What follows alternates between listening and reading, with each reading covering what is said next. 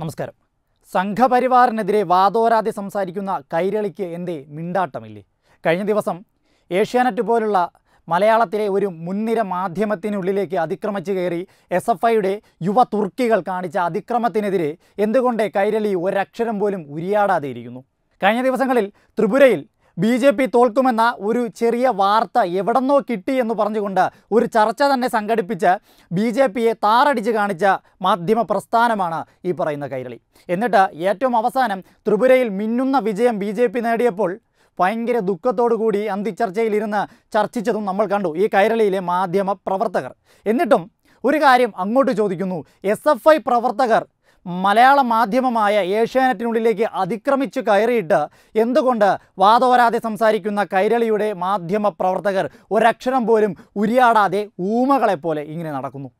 ഇത് ഉത്തരം കിട്ടേണ്ട ചോദ്യമാണ്. കാരണം ഈ നാട്ടിൽ നിങ്ങൾ തന്നെ പറയുന്നുണ്ട് സംഘപരിവാർ ശക്തികൾ എപ്പോഴും ഇവിടുത്തെ മാധ്യമങ്ങളെ തച്ചുടയ്ക്കുവാൻ ശ്രമിക്കുന്നു എന്ന്. എന്നിട്ട് ഇപ്പോൾ എന്താണ് കാണുന്നത്? ഏഷ്യാനെറ്റിനുള്ളിലേക്ക് അതിക്രമിച്ച് കയറിയത് സംഘപരിവാർ ശക്തികൾ ആണോ?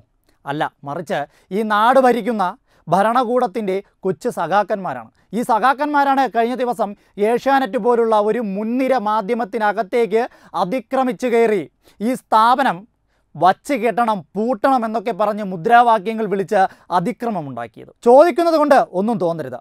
ഈ പറയുന്ന ബി ജെ പിക്കെതിരെയൊക്കെ സംസാരിക്കാൻ വേണ്ടി മാത്രമേ ഈ പറയുന്ന കൈരളി വാ തുറക്കുകയുള്ളൂ എന്നുണ്ടോ? അതോ ഈ സാധാരണക്കാരായ ജനങ്ങൾ ചർച്ച ചെയ്യുന്ന വിഷയങ്ങളിലും കൈരളി പോലുള്ളൊരു മാധ്യമത്തിന് ഇടപെടാൻ സാധിക്കുമോ? ഇതൊക്കെ ജനങ്ങൾ തന്നെ ചോദിക്കുന്ന ചോദ്യമാണ്. എന്തായാലും ഇപ്പോൾ നടക്കുന്ന ഈ ഒരു സംഭവ വികാസത്തെ മുൻനിർത്തി പറഞ്ഞു കഴിഞ്ഞാൽ കൈരളി എന്ന് പറയുന്ന മാധ്യമ സ്ഥാപനത്തിനകത്തേക്ക് ഒരു യൂത്ത് കോൺഗ്രസ് പ്രവർത്തകനോ എന്തിനേറെ പറയുന്നു ഒരു എ ബി വി പി പ്രവർത്തകനോ ബി ജെ പിയുടെ പ്രവർത്തകനോ കോൺഗ്രസിന്റെ പ്രവർത്തകനോ മറ്റേതു പ്രസ്ഥാനത്തിന്റെ പ്രവർത്തകനോ അതിക്രമിച്ച് കയറി ഒരു പ്രകടനം നടത്തിയാൽ എന്തായിരിക്കും കൈരളിയുടെയും നമ്മുടെ ഗവൺമെന്റിന്റെയും നയം? വ്യക്തമായി പറയാം. അകത്തേക്ക് അതിക്രമിച്ച് കയറുന്ന ഈ പറയുന്ന യുവ നേതാക്കന്മാരെ അടിച്ചൊതുക്കി ചാക്കിലാക്കി കേരള പോലീസ് തന്നെ എടുത്തുകൊണ്ട് ലോക്കപ്പിലാക്കും. അല്ലെങ്കിൽ കൈരളിയുടെയൊക്കെ തന്നെ കൈരളിയെ സംരക്ഷിച്ചു നിർത്തുന്ന ഇടതുപക്ഷ സർക്കാരിന്റെയൊക്കെ തന്നെ ഗുണ്ടകൾ വന്ന് ആ നേതാക്കന്മാരെ കൈകാര്യം ചെയ്യും. എന്തായാലും ബി സർക്കാർ കേന്ദ്രത്തിൽ ഭരിക്കുന്നത് കൊണ്ടാകണം ഈ പറയുന്ന പോലെ ഏഷ്യാനെറ്റ് എന്ന് പറയുന്ന ആ ചാനലിനകത്തേക്ക് കയറി വന്ന എസ് എഫ് ഐയുടെ കൊച്ചു സഖാക്കന്മാർക്ക് അതിക്രമങ്ങളൊന്നും കാണിക്കുവാൻ സാധിച്ചില്ല. കാരണം അത്രയ്ക്ക് മേലുണ്ട് ഈ പറയുന്ന സർക്കാർ ഓരോ പൗരനും കൊടുക്കുന്ന സംരക്ഷണം. അതുകൊണ്ടായിരിക്കാം ഭയന്നിട്ടായിരിക്കാം ഈ പറയുന്ന എസ് എഫ് ഐയുടെ നേതാക്കന്മാർ ഏഷ്യാനെറ്റ് എന്ന് പറയുന്ന സ്ഥാപനത്തിലേക്ക് അതിക്രമിച്ച് കയറിയിട്ട് അവിടെ ഒന്നും നാശനഷ്ടങ്ങൾ ഉണ്ടാക്കാതെ പുറത്തേക്ക് പോയത്. എന്താണെങ്കിലും ആലോചിച്ച് നോക്കുക ഏഷ്യാനെറ്റ് പോലുള്ളൊരു മാധ്യമത്തിനകത്തേക്ക് കയറി വന്ന എസ് നേതാക്കന്മാർ പലരും ഈ നാട്ടിൽ ക്രിമിനൽ കേസുകൾ വരെയുള്ള നേതാക്കന്മാരാണ്. അപ്പോൾ ഇത്തരത്തിൽ അഴിച്ചുവിട്ടിരിക്കുന്ന കുട്ടി സഖാക്കന്മാരെ കുറിച്ച് എന്തുകൊണ്ട് കൈരളി ഒരക്ഷരം പോലും മിണ്ടുന്നില്ല?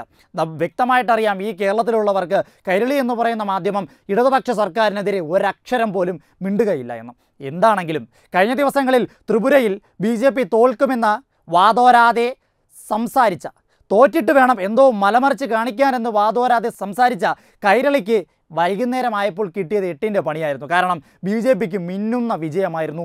ഈ പറയുന്ന ഇടതുപക്ഷത്തിന് കേവലം അത്രയ്ക്കും ദരിദ്രമായ തോൽവിയുമായിരുന്നു. എന്താണെങ്കിലും ചോദിക്കുന്ന രണ്ട് കാര്യങ്ങൾ ഇത്രയേ ഉള്ളൂ.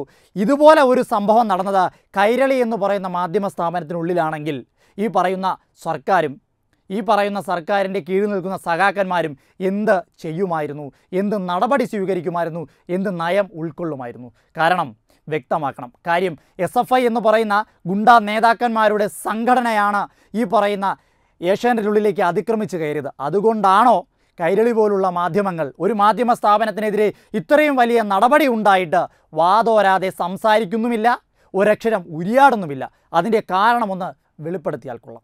വെബ് ഡെസ്ക് തത്തുമൈ news. Powered by Demos furniture ലോകോത്തര ഫർണിച്ചറുകളുടെ വമ്പൻ അൺലോക്ക്